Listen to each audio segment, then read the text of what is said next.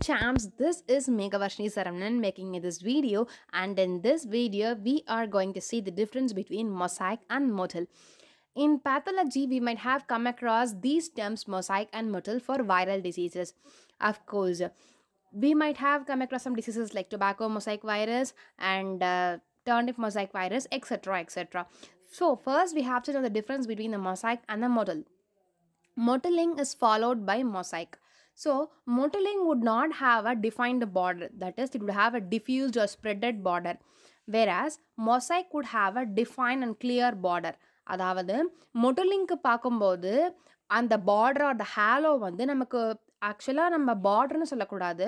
Technical டேர்மில் நம்ம ஹேலோன்னு தான் சொல்லணும். அந்த ஹேலோ அந்த ஸ்ப்ரெட்டிங் வந்து ஒரு ப்ராப்பராக இருக்காது. மோட்டலிங்கில் நம்ம இதை ஜூம் பண்ணி பார்க்கலாம். இங்கே எங்கே உங்களுக்கு நமக்கு ப்ராப்பர் ஸ்ப்ரெட்டிங் இருக்குது அதாவது ஜஸ்ட்டு அங்கங்கே வந்து குளோரோசிஸாக இருக்குது ஆனால் இங்கே பார்க்கும்போது நம்மளால் கிளியராக பார்க்க முடியுது. ஸோ இதுதான் இதுக்கான டிஃப்ரென்ஸு.